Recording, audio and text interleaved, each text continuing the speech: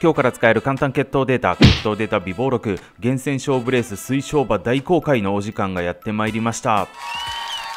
はいということで今回は9月24日日曜日に行われるレースの中から厳選勝負レースをピックアップしましていつも通り決闘トラップ2つの面から分析をした推奨馬を公開していきます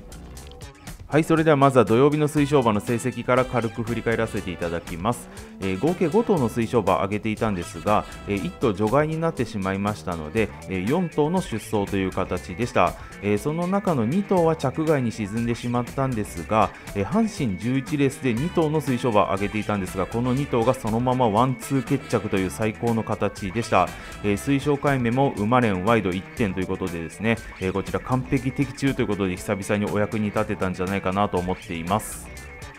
え、ここ2週間ちょっと本当に不甲斐ない予想ばかり続いてしまっていたので、えー、なんとか久々に、お役に立てたんじゃないかなと思って、正直ほっとしております。えー、ただ夏競馬振り返ればですね、えー、重賞レース中心にかなり良い予想がお届けできていたんじゃないかなと思っています、えー、中京記念では8番人気1着のセルバーグを推奨、えそして、えエルムステークスでは6番人気1着の石風を推奨という形でしたし、え新潟2歳ステークス小倉2歳ステークスについても、え1着、えしっかりと勝ち切った馬を推奨することができていました。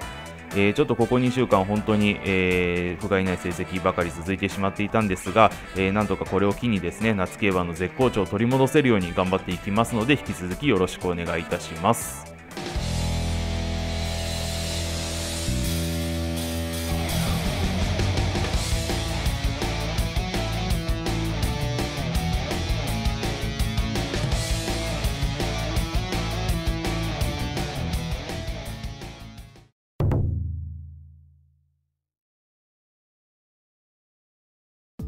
はい、それでは9月24日日曜日の厳選勝負レースはご覧の通りです。えー、阪神2レース、えー、阪神11レース神戸新聞杯、えー、そして中山11レースオールカマー、えちょっと少ないんですけども、こちらの3つのレースを今回厳選勝負レースとして推奨馬を上げていきます。えなお、この動画では阪神2レースの推奨馬のみ公開させていただきます。え阪神11レース神戸新聞杯、え中山11レースオールカマー、えこちらの2つのレースの推奨馬につきましてはメンバーシップ限定での公開とさせていただきますのであらかじめご了承ください。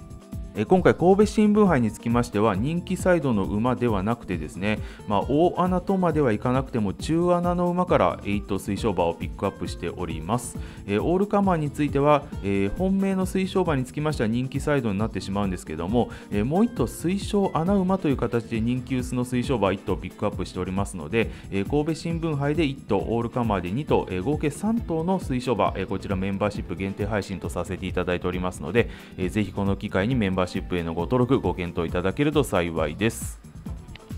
はい、それでは推奨馬の発表に移ります。えー、阪神2レース、芝 1600m で行われます、えー、2歳の未勝利戦ですね、えー、こちらのレースで推奨させていただきますのは、え5枠5番のシャドフですね。えー、ここ最近ちょっと無料公開の推奨馬が全く走っていない状況ですので、えー、なんとかこの馬、えー、構想してくれることを心より祈っております、えこのシャドフですねスワーブ・リチャード3区なんですけども、えスワーブ・リチャード3区未勝利戦で、え前走が新馬戦で、まあ、4着以内だった馬ですね、え勝率57.1%連帯率100%と、え現状では100%の連帯率を誇っております、えこのシャドフも前走新馬戦で、え3着に入っていますので、えこの構想データに合致する形となっております。えー、その前走ですね、えー、幼さを見せてしまいまして、まあ、スタートから完全にダッシュがつかずに後方からの競馬になってしまいました。まあ、遊びながら走って最後直線だけ本気出して3着まで差し込んできた内容でしたので、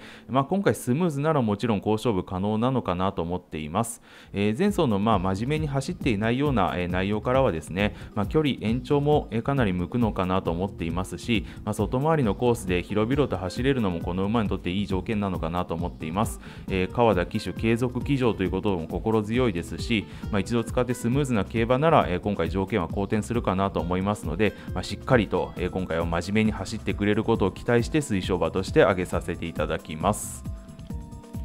はい以上阪神2レースの推奨馬発表させていただきました、えー、この動画では1頭のみの公開となってしまいまして今回大変申し訳ございません、えー、阪神11レース神戸新聞杯の推奨穴馬、えー、そしてオールカマーの推奨馬および推奨穴馬、え合計3頭の推奨馬につきましては、えメンバーシップ限定での公開とさせていただいております、えメンバーシップ限定で YouTube コミュニティ内に推奨馬の書かれた画像をすで、に投稿済みとなっておりますので、えメンバーシップにご登録していただいている会員様はは、え YouTube コミュニティ内の、え投稿画像にて、え推奨場をご確認いただければと思います。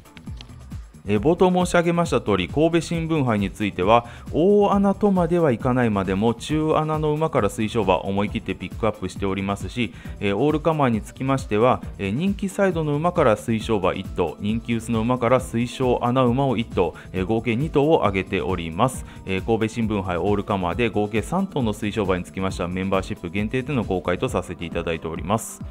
ここ2週間、本当にダメな予想ばかりお届けしてしまっていたんですが、えー、土曜日の阪神メインレースの完璧的中をきっかけにですね、えー、なんとか夏競馬の、えー、絶好調を取り戻していけるように、えここから心機一転頑張っていきますので、ぜひよろしくお願いいたします。またですね今後、えー、G1 シーズン始まっていきますけども、えー、基本的に G1 レースについてはすべてメンバーシップ限定での、えー、推奨馬公開、えー、予想の公開としていく予定となっております、えー、たまにちょっと一般公開することもあるかなと思うんですが、えー、基本的には G1 レースの推奨馬予想につきましてはメンバーシップ限定での公開とさせていただく予定となっておりますので、えー、ぜひこの機会にメンバーシップへのご登録よろしくお願いいたします。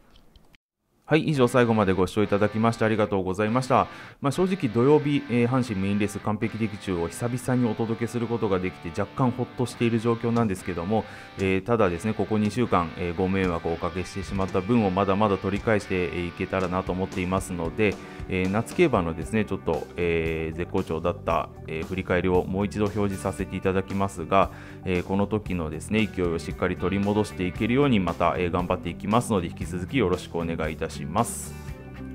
またこんな感じでですねたまにお休みすることはあるかもしれないんですけども基本的には一部の推奨馬無料でこうやって動画で公開していきたいなと思っております。今後 G1 シーズンも始まっていきますのでぜひチャンネル登録お済みでない方はチャンネル登録をよろしくお願いいたします。はい以上最後までご視聴いただきましてありがとうございました。日曜日も競馬を一緒に楽しんでいきましょう。